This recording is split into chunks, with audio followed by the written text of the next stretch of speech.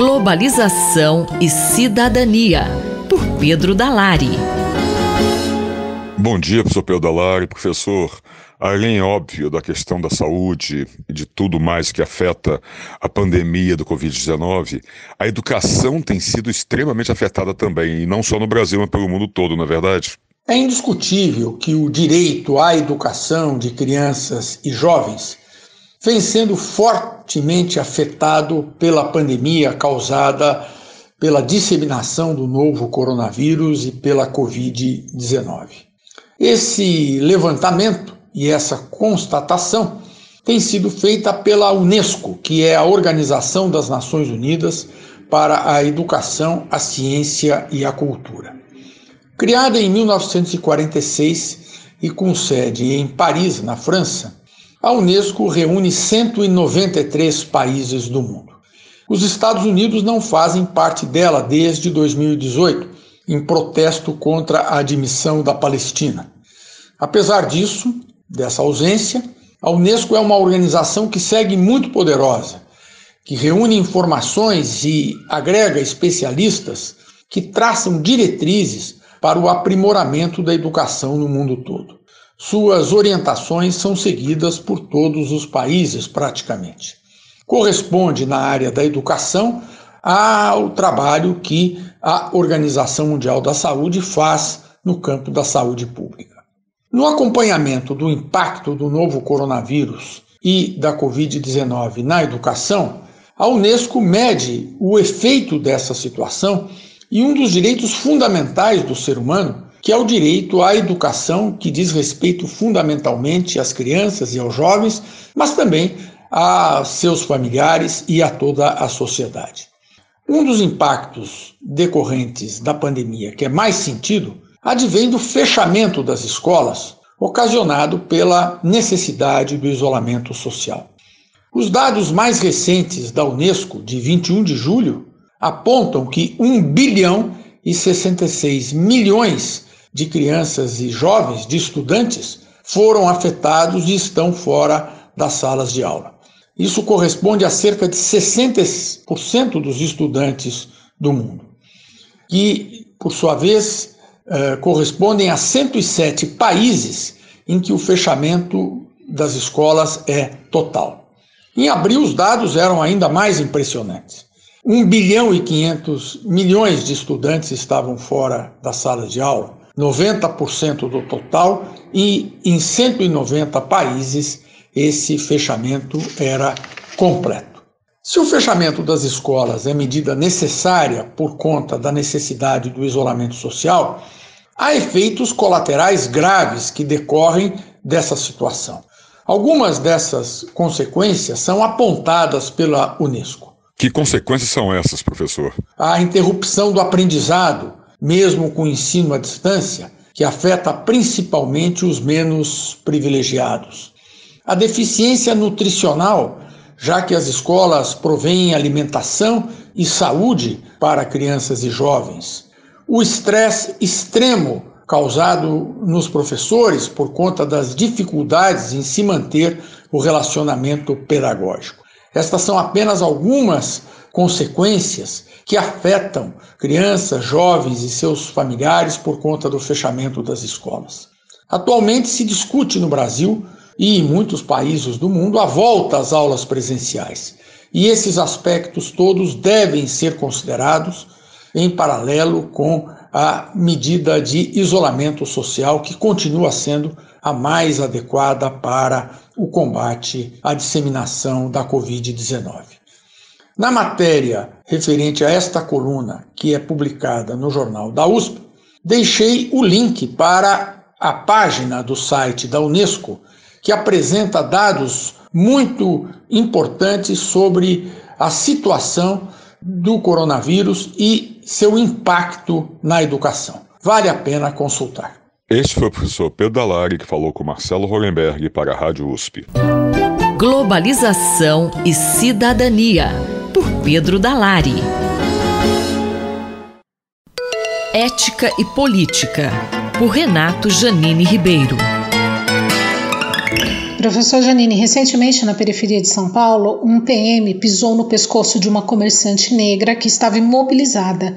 Qual a sua análise desse caso? É, existe uma violência sistemática da polícia contra negros, muitos uh, protestam contra isso, negros, brancos, muitos protestam, mas isso permanece e é significativo que o PM tenha feito exatamente a mesma coisa, isto é, pisar no pescoço de um negro, a mesma coisa que levou à morte do americano, faz coisa de um mês, deflagrando protestos nos Estados Unidos e no resto do mundo.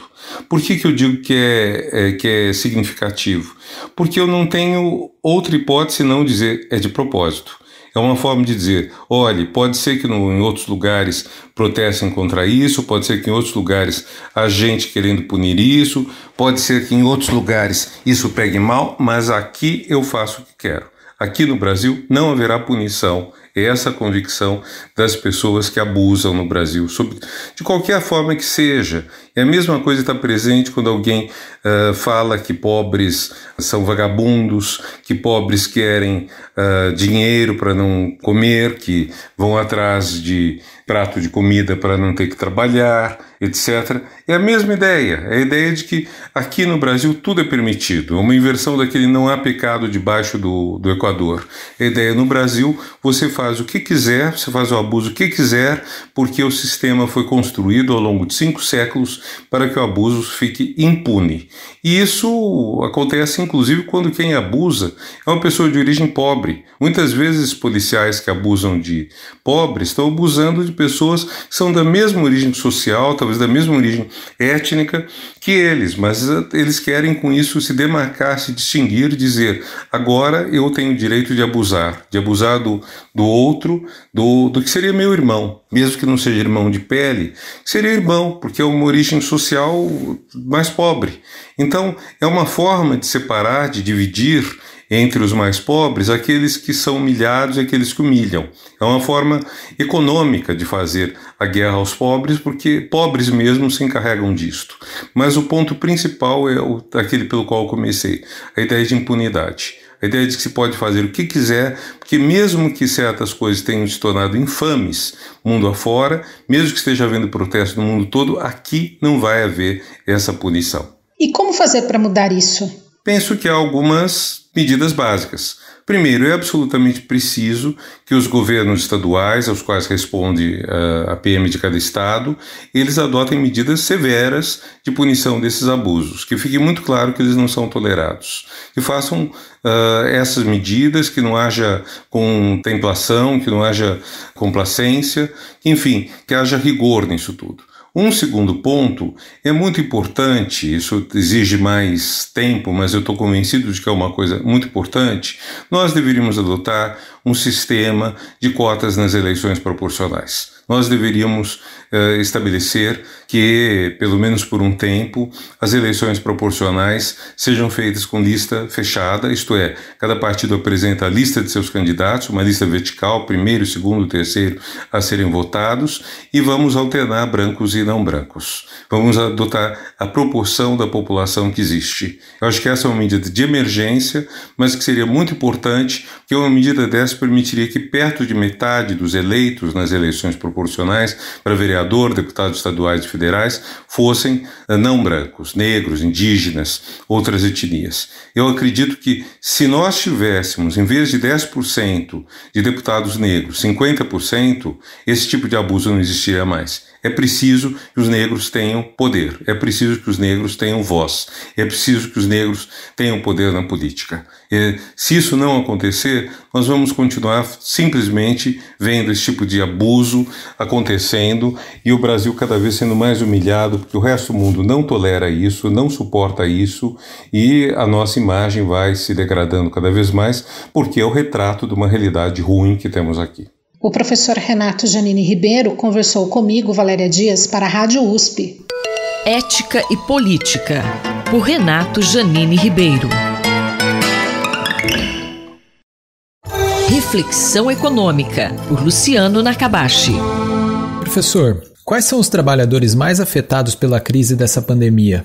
A pandemia né, do, do Covid-19 tem afetado praticamente toda a população nos diferentes países, mas existe uma diferença entre quem tem sido mais afetado. No Brasil e também em outros lugares, mas particularmente no Brasil, a gente percebe que a população mais afetada é aquela população mais pobre, por diversos motivos. Primeiro, em relação ao mercado de trabalho, dados do IBGE, da PNAD contínua, mostram que aqueles trabalhadores menos qualificados são os que estão sendo mais atingidos em termos de desemprego, em termos de afastamento do trabalho e afastamento também sem remuneração. E por que, que isso acontece, né? Quando a gente pensa no mercado de trabalho e a questão do Covid-19, o grande efeito é sobre é, aglomeração, né, sobre onde precisa da interação entre pessoas. E quando a gente pega as pessoas que são mais escolarizadas, a gente percebe que são pessoas em geral, né, mas quem trabalha em escritório, essa parte administrativa, são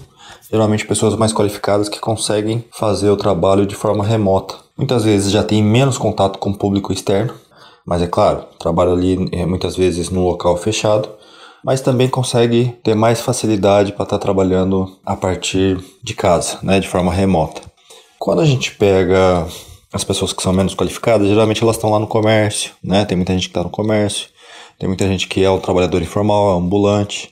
Então, esse tipo de profissão, né? Você tem a manicure, você tem empregada doméstica que está tendo mais dificuldade para trabalhar na casa das pessoas por questão né, da própria contaminação. Tem várias dessas profissões que depende desse fluxo de pessoas e lidar né, diretamente com o público externo. Então isso tem afetado muito mais né, a questão do mercado de trabalho das pessoas mais pobres. As pessoas mais pobres têm mais dificuldade, geralmente moram em ambientes é, de maior aglomeração, tem uma. Acho que é característico né, do próprio ambiente familiar, da escola que frequenta, do ambiente social, tem menos acesso à informação, então isso acaba também afetando o comportamento em termos de uso de máscara, em termos até da, da aglomeração socialmente. Então eles têm menos acesso né, ao serviço de saúde de fato que tenha qualidade, ou mesmo até acesso em muitos momentos. Então acaba sendo essa parcela da população que tem sido mais fortemente afetada em vários sentidos. E qual seria o papel do governo para aliviar essa situação? Acho que o governo ele tem que pensar em duas coisas. Uma, né, já vem sendo feita, que é o auxílio emergencial para que as empresas consigam manter seus funcionários e aquelas pessoas de baixa renda estão recebendo aquele valor de 600 reais. Isso é fundamental, né? Tem dado certo. Acho que o governo ele agiu muito bem nesse sentido e foi muito positivo, né? A reação do governo em relação à crise, de uma forma geral. Então isso é muito importante, né? Tá dando esse suporte para essas pessoas nesse momento. E pensando no longo prazo, é uma das coisas, é claro que vai muito além disso, mas uma das coisas é o acesso à informação de qualidade, a educação de qualidade. Então tem que ter esse investimento né, na formação, na acumulação do capital humano dessas pessoas que são mais pobres, que é um dos elementos né, que é apontado há muito tempo como sendo super importante para reduzir a disparidade de renda entre as pessoas e dar mais oportunidade para aquelas pessoas que são mais pobres. E eu acho que um ponto super importante agora também é olhar o processo de normalização. Porque esses auxílios emergenciais, eles têm sido muito importantes, mas eles têm um efeito muito grande sobre a parte fiscal do governo.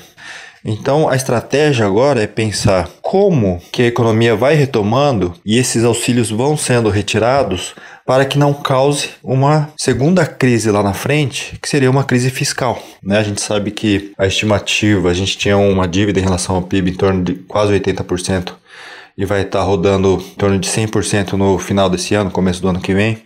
Então isso pode levar a uma crise fiscal. Então como a gente consegue retomar a atividade econômica, começando a controlar a partir já de 2021, até talvez a partir do segundo semestre de 2020, começar já a colocar um pouco ordem na questão das contas do governo, para que 2021 seja restabelecido as regras do teto do gasto, para que a gente não entre numa crise fiscal.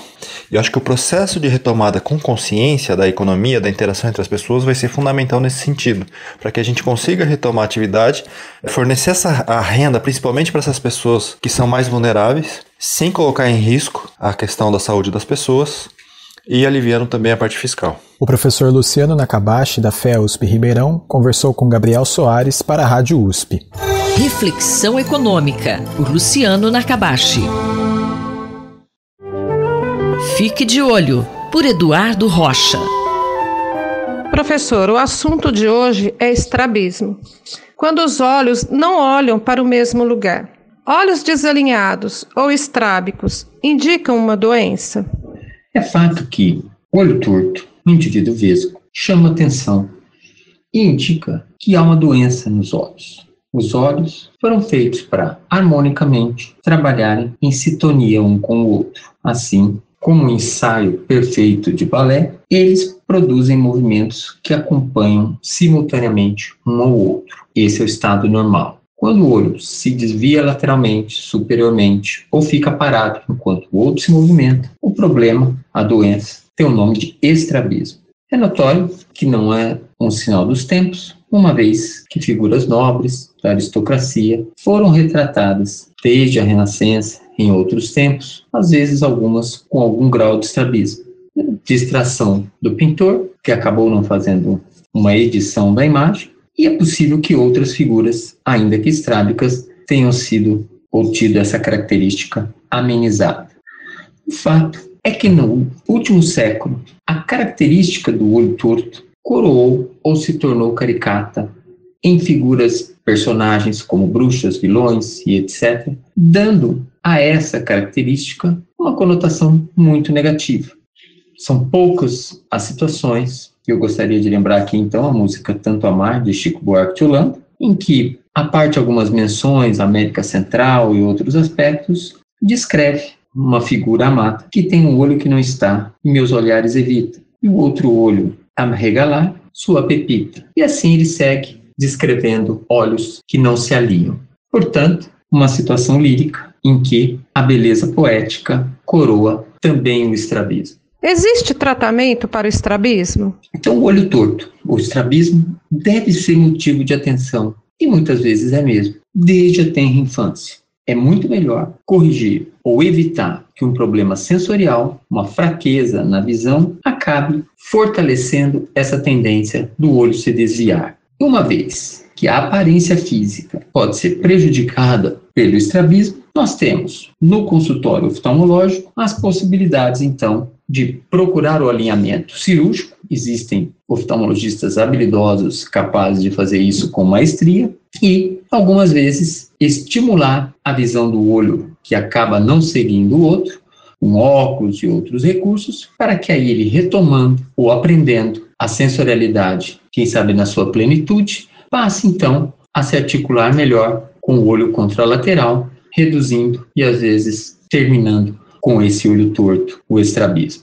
Muito importante é detectar precocemente e mesmo em algumas situações em que não é possível restaurar a visão, quando o estrabismo se instala na vida adulta, discutir com o seu oftalmologista a possibilidade, nesse caso, de um tratamento que melhore a estética. Muito obrigado. Nós acabamos de ouvir o professor Eduardo Rocha, da Faculdade de Medicina da USP em Ribeirão Preto. Rosimeire Talamone, para a Rádio USP. Fique de olho, por Eduardo Rocha.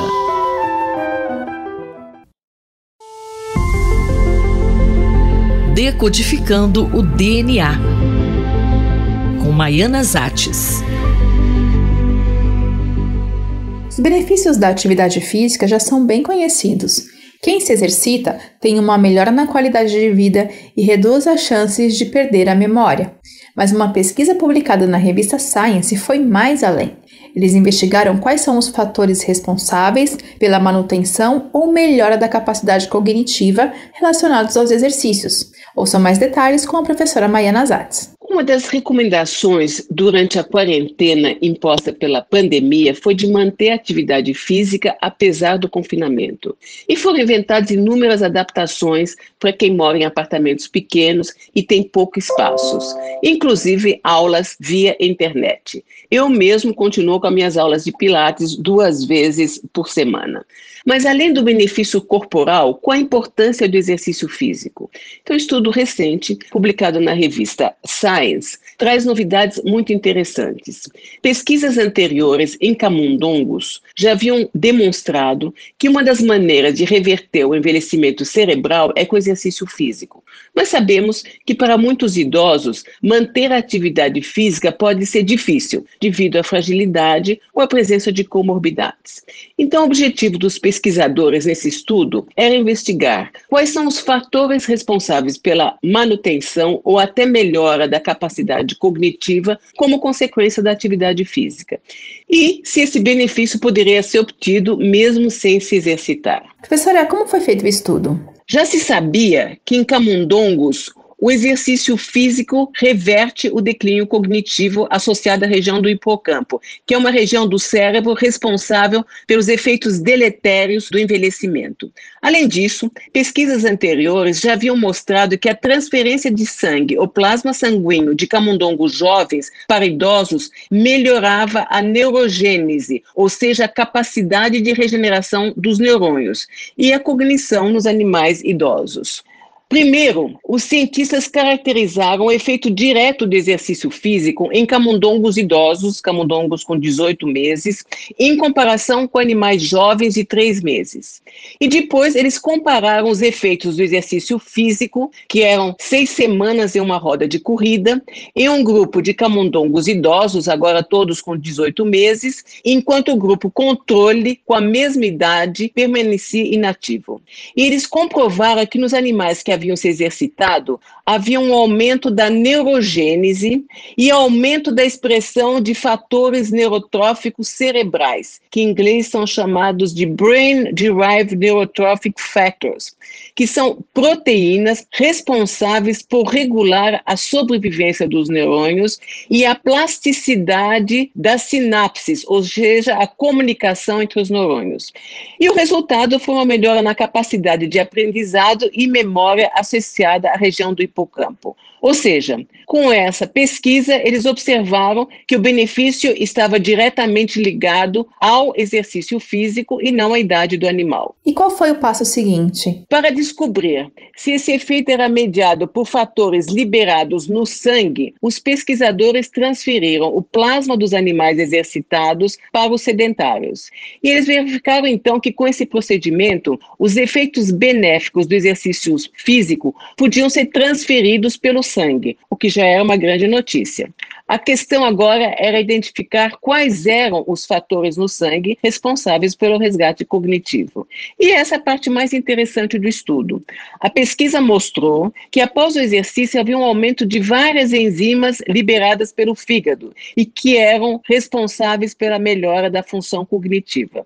E uma das enzimas, uma fosfolipase denominada GPLD1, já se mostrou aumentada em pessoas idosas ativas ativas e saudáveis, o que demonstra que esses achados podem ser verdadeiros também para nós humanos.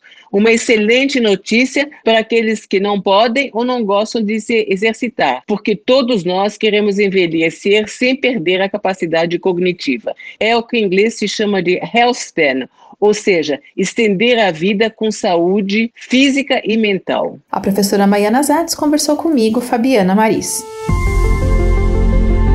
Decodificando o DNA, com Maiana Zates.